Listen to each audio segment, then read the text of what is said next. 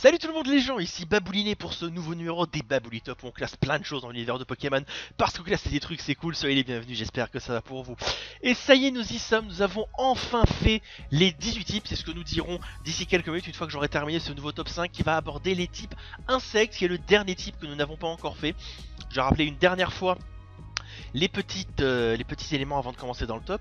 Donc ce top ne contiendra pas de Pokémon légendaires car elles ont un top 10 il y, a, il y a quelques mois. Petite restriction qui ne concerne que moi.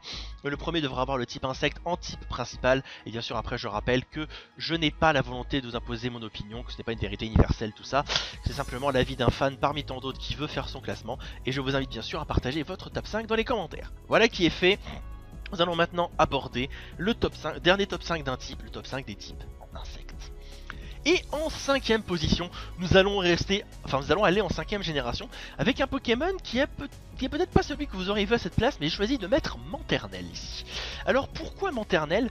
Ben, il y a quelques temps dans certains tops, j'avais dit que euh, j'aimais bien parfois, entre guillemets, rendre hommage à des Pokémon que j'avais testés, que j'avais appréciés.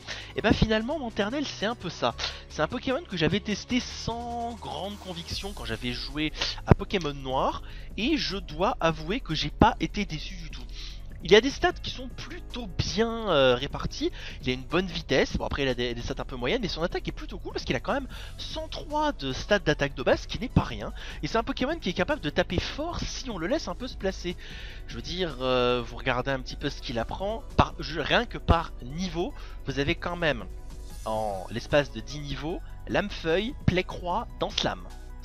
Rien que ça, vous avez un Pokémon puissant parce que vous apprenez deux stabs et en plus la manière de les rendre encore bien bien plus puissants. Et après, si vous regardez dans ce qu'il peut apprendre, vous avez les trucs traditionnels genre retour, aéropiqué, Eldacia, apparemment il peut apprendre ce machin là, euh, Représailles, je vais y faire du Eddie Malou encore une fois, les railers, euh, Griffon, plein de choses vachement sympas, euh, direct toxique. C'est un Pokémon qui est capable de faire pas mal de choses, bon tant que ça s'est mis sur le physique parce que l'attaque spéciale c'est pas tout à fait ça, mais c'est un Pokémon qui est cool et que j'avais apprécié quand je l'avais testé sur Pokémon Noir. Et pour ça, je me dis que ce serait bien de lui rendre un petit peu hommage, entre guillemets. Et c'est pour ça que je choisis de le classer à la cinquième place du top de cette semaine.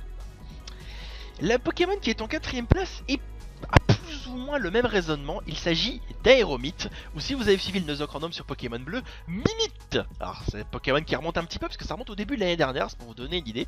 Et c'est plus ou moins pour les mêmes raisons. Bon, c'est vrai que j'ai pas eu le temps de... Je l'ai pas gardé super longtemps, Mimite.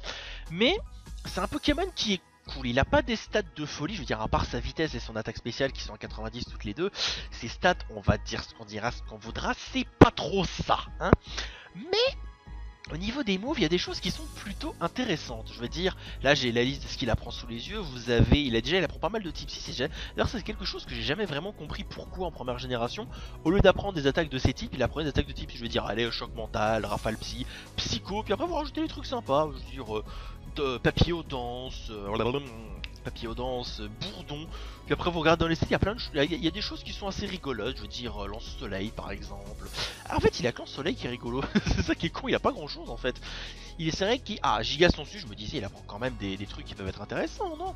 Sinon mon, mon explication elle tombe à l'eau, c'est con. Mais bon, c'est un Pokémon qui peut avoir du potentiel, mais le problème c'est qu'il a des stats qui sont pas à la hauteur de ce qu'on attend de lui. C'est un Pokémon qui qui en fait qui, peut être bon mais qui est un peu faible mais c'est juste que pour lui rendre hommage du fait de l'avoir essayé de limite je ne t'oublie pas d'ailleurs et qui peut avoir du potentiel bah pour moi j'ai choisi de le mettre dans ce top et j'ai choisi de le mettre à la quatrième place cette semaine allez on attaque le top 3 avec des Pokémon qui sont vraiment, que je kiffe vraiment. Et le troisième cette semaine est Scarino. Scarino qui avait déjà figuré dans le top 5 des Pokémon de type combat, si je ne m'abuse. C'est un Pokémon qui, qui est déjà un design, en fait, finalement assez simple, mais assez cool. Puis bon, je veux dire, comment, quand on parle de design de, de, Scarino, comment ne pas évoquer le Scarino de l'animé qui était toujours à vouloir sucer le miel de la fleur de Bulbizarre, ou à toujours vouloir faire des gros câlinous à Sacha. Mais c'est un Pokémon qui est vachement cool parce qu'il tape fort. Et encore, ça c'est sans son talent, oui, ça c'est sans ses talents impudence, écran qui le rendent encore plus pété. Je veux dire, il a déjà une stat d'attaque de folie à 125, une bonne défense spéciale, une vitesse pas dégueu. Bon, après le reste, c'est pas le top moumoute, mais c'est quand même un Pokémon qui est capable de frapper, mais comme une brute. Comme il dirait dans Borderlands, une brutasse. Je veux dire, Mégacorn, Close Combat, Séisme, Lame de Roc, euh, euh, euh Griffondre, plein plein de choses qui tapent vraiment, bien fort. Et après vous le mettez avec le, le talent que vous voulez, mais vous êtes apparaît simple parce que les seins c'est un peu de la merde sur lui, mais grand, il sera, ça leur absolument abject au niveau de la puissance et euh, impudence, impudence, j'avais pu le tester au moment où il avait été sorti sur Noir et Blanc 2, mais ce machin il me laissait placer une danse et, et choper un kill, c'était fini. Hein. C'était fini parce qu'on pouvait combiner danse lame avec impudence et ce machin devenait absolument abject. Je sais pas combien j'en ai fait, euh, abandonner des combats sur Shodan avec ça, mais c'était magnifique ce Pokémon une fois placé est juste inarrêtable. Et rien d'autre à dire à ce niveau-là. Bon, je sais que je ne cite pas le méga, mais je suis pas méga fan, sans mauvais jeu de mots, de, cette forme. Bon, cette forme, c'est simplement la, puissance à l'état brut avec les attaques à plusieurs coups. Pourquoi pas J'avoue que c'est pas le meilleur méga pour moi, et c'est peut-être pour ça que Scarino n'est pas plus haut dans la liste, mais troisième, c'est déjà bien. Nous arrivons ensuite à la médaille d'argent, pour laquelle nous allons retourner à Unis et nous retrouvons un Pokémon qui avait déjà figuré dans un précédent top, il s'agit de Pyrax. Alors pourquoi Pyrax est là? Bah Pyrax c'est un Pokémon qui a déjà un design que je trouve vraiment bien. Autant j'avoue que les insectes c'est pas mon type préféré, mais autant celui-là quand je le vois je peux pas m'empêcher de trouver qu'il est là. Je veux dire, le, le gros papillon presque intimidant avec les ailes de feu, je veux dire, j'adore. C'est un design que j'adore. C'est un Pokémon qui est super fort, ça y a pas à le dire, y a pas à dire pardon.